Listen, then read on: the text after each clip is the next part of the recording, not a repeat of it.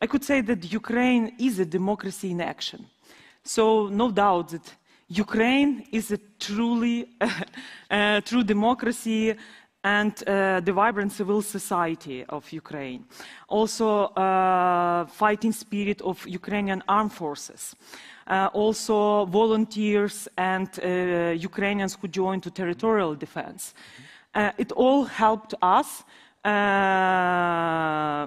to defend our country and when the blitzkrieg scenario uh, failed uh, and then um, during these days when Ukrainian armed forces are conducting counter-offensive uh, operations, it brings more hope that Ukraine uh, is winning and will win the war and 92% of Ukrainian population, they believe that Ukraine uh, uh, will win the war, and the victory means uh, restoration, full restoration of territorial integrity and sovereignty, which means that complete Ukrainian victory means Donbass and Crimea back. But thinking about Ukraine democracy, especially today when there is uh, September 1st and uh, Ukrainian uh, kids uh, starting their new uh, year, I'm thinking about the future.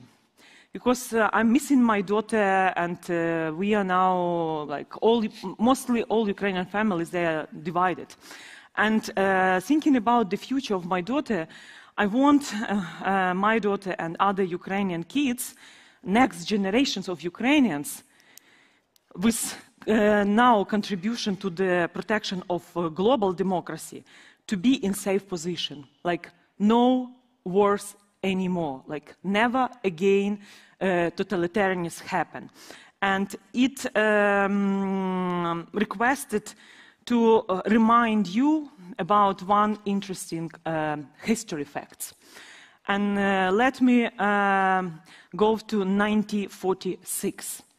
Uh, just after the World War II, one political um, network was established. This was the anti-Bolshevik bloc of nations. Ukrainians, together with another displaced persons, which were sitting in camp of uh, Nazi Germany and others from Lithuania, Czechs, uh, others, they established this, the anti-Bolshevik bloc of nations. Why I'm mentioning this now? Because one of the founders of this was Yaroslav uh, Stetsko, and in 1930, he believed that Ukraine should become a center for other stateless nations, looked like an even greater utopia. Can you imagine at 1930, when uh, Ukrainian dissidents, Ukrainian people who were forced to flee Ukraine, they had a dream to become an epicenter of fight for freedom. And when Ukraine as a state did not exist on the world map, but Ukrainians were dreaming about uh, uh, freedom for captive nations. And 30, uh, 63 years ago, a US president established the uh, week, uh, the Captive Nations Week. And why I mention this uh, anti-Bolshevik bloc of nations? Because in uh, when it was formed in 1946, but then, and I'm very uh, thankful to uh, the organizers to see a lot of Taiwanese representatives here these days, because in 1945, Yaroslav Stetsko visited Taiwan, and in 1957, uh, anti-Bolshevik bloc of nation mission headed by Ukrainians was opened there. So now we're also discussing about potential uh, and strengthening uh, uh, contacts and cooperation with Taiwan. And recently in Ukrainian parliament, the interfaction parliamentary group, uh, Ukraine-Taiwan, was established. And let me finish answering on your questions. Why history matters and why I mention uh, these uh, particular cases.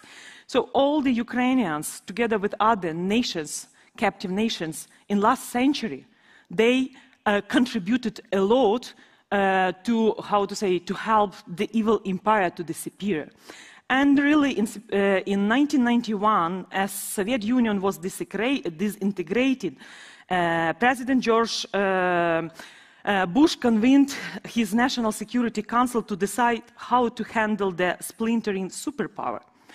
And at that time, um, Dick Cheney, Cheney he reported that uh, he, the, he, wrote to uh, that um, saying like wanted to see the dismantlement not only of the Soviet Union and the Russia Empire, but of Russia itself. So it could never again be a threat to the rest of the world. So, unfortunately, subsequent US policymakers failed to see that the end of the Soviet Union was not just a defeat of communism, but also a defeat of colonialism.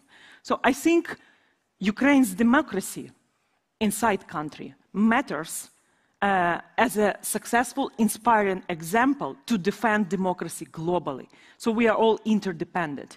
So, uh, and as a civil society representative with uh, five years of service in the parliament, I could say that uh, it's crucially important that we win this war because, like uh, in last century, this anti-Bolshevik bloc of nations contributed a lot for uh, disintegration of the evil empire and now it's not just for us uh, to uh, restore territorial integrity.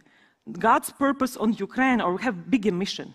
And this bigger mission is to help the captive nations finally to be free. And it's not just about uh, uh, nations or indigenous people suffering at the territory of Russian Federation, Uyghurs and others. It's about defending freedom, dignity, defending universal values, and this is, I think, geopolitical mission of Ukraine's democracy. And the more we protect democracy inside Ukraine, the better and stronger our position is at the global arena to help also uh, democratic nations to unite efforts and not to allow authoritarianism to uh, consider long-term war as a chance or opportunity for them.